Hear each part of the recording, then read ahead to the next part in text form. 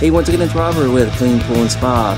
In this video, I want to talk about something that's really not too common, um, but over the years with my site and YouTube, in uh, 17 years of taking care of pools, this subject has come up. Uh, and it's what do I do if my chlorine is too high? Why is it high, and how can I bring it down effectively? Um, so we're going to go ahead and talk about that. And for more troubleshooting tips just like this, you can check out my website. I have an ebook there, Solutions to Common Pool Water Problems. You can check out the box.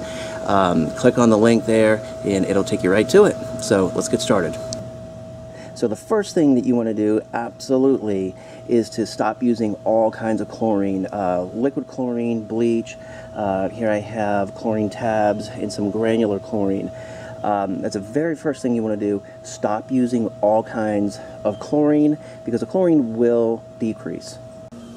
Next, you can do this. Fill the pool up with a little bit of water or if it's really high you can do maybe a third draining refill. Just be careful if you have a vinyl pool. Uh, you don't want to um, uh, drain it too far down uh, but this is a very effective way to reduce your chlorine level. Next is this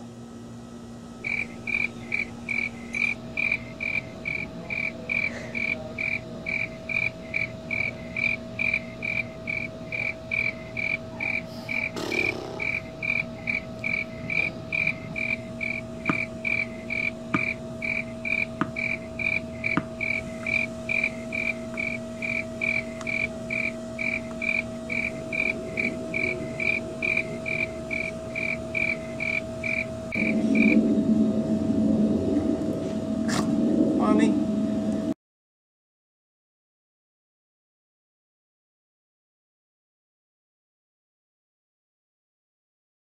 And the last thing that you want to do, absolutely the last thing, is use any kind of chlorine neutralizer. Um, this comes from uh, a 4-in-1 test kit uh, with a K2006 test kit.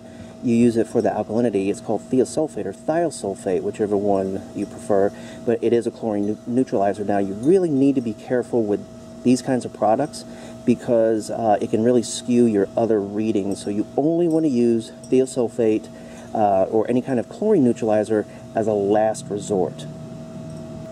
And those are some very effective ways on reducing your chlorine level.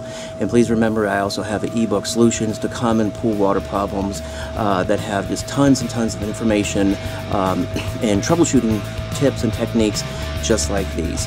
Uh, so go ahead and check out the description box below. Link to my website, cleanpoolandspa.com. Lots of great information over there. Like, subscribe, and comment here. As always, be safe and happy swimming. Bye.